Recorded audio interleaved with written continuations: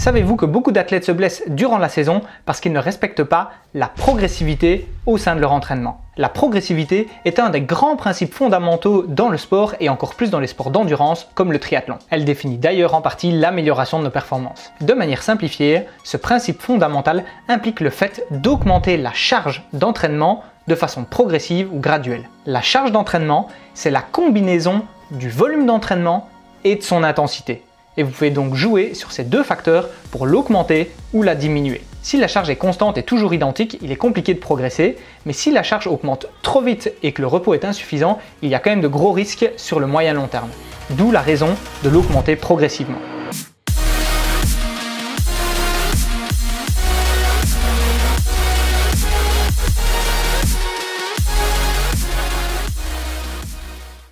L'amélioration de nos performances physiques est la conséquence de l'adaptation positive de l'organisme face aux stimuli croissants qu'il reçoit.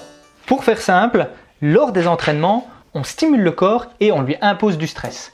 Puis, pendant la récupération, le corps va construire les adaptations nécessaires pour devenir plus fort, plus résistant et plus endurant en vue de faire face à de nouveaux efforts. Par contre, si vous réalisez des séances trop longues, trop rapprochées l'une de l'autre ou avec trop d'intensité sans repos suffisant, alors la charge est trop élevée et votre corps n'a pas le temps de s'adapter. Et si vous êtes dans cette situation, dans le meilleur des cas, vous ne progressez pas et dans le pire des cas, vous entrez dans un début de surentraînement qui peut avoir de mauvaises conséquences comme la blessure ou l'épuisement physique. Alors le but de la progressivité, c'est d'éviter de soumettre le corps à une charge trop importante. Et cette progressivité, elle se réalise chaque saison au fil des semaines et des blocs d'entraînement voire même au fil des années si vous visez le long terme. C'est comme ça que plus vous avancez dans votre entraînement, plus vous serez capable de supporter une charge élevée pour continuer à progresser. Le problème, c'est qu'en début de saison, quand on commence le triathlon, il y a un gros piège dans lequel on tombe facilement, c'est d'être tout feu tout flamme et de partir trop vite sur une grosse charge d'entraînement. Forcément, ça tient un temps.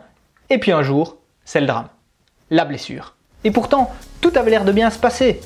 En fait, c'est juste un manque de progressivité. Personnellement, ça m'est arrivé lors de la reprise de la saison après mon premier Ironman, donc dites-moi dans les commentaires si vous aussi ça vous est déjà arrivé et que vous en avez fait les frais. Alors surtout en début de saison comme maintenant, Allez-y calmement et puis vous augmenterez progressivement la charge. Je vous rassure, vos triathlons n'ont pas lieu dans deux semaines, mais dans plusieurs mois, donc vous avez le temps, soyez juste patient. Le cœur du problème dans tout ça, bah oui, on y vient, c'est que c'est trop tentant de vouloir se sentir en super forme et au top durant toute l'année. Et c'est normal, on se sent tellement bien quand on est fort. Malheureusement, à part mettre votre ego de côté quelque temps sans se comparer aux autres et respecter le principe de progressivité, bah, vous n'avez pas réellement d'autres solutions mais j'avoue, c'est beaucoup plus facile à dire qu'à faire. Alors justement, comment être progressif? Une façon simple de respecter ce principe, c'est déjà de regarder à l'échelle de la saison. Comme votre but est souvent d'arriver en forme le jour de votre gros objectif, vous allez augmenter progressivement la charge au fil de la saison. Pour ça, vous allez alterner 2-3 semaines de charge progressive avec une semaine plus légère de récup. Et pour jouer sur la charge d'entraînement, rappelez-vous de la formule, vous pouvez soit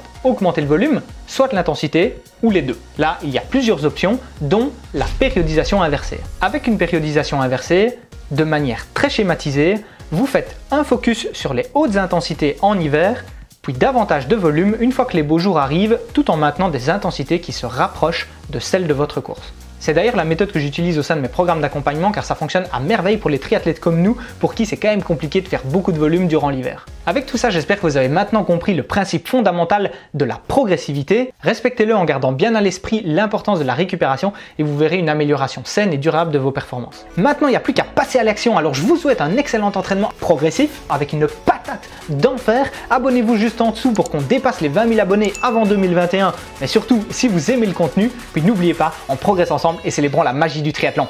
Ciao ciao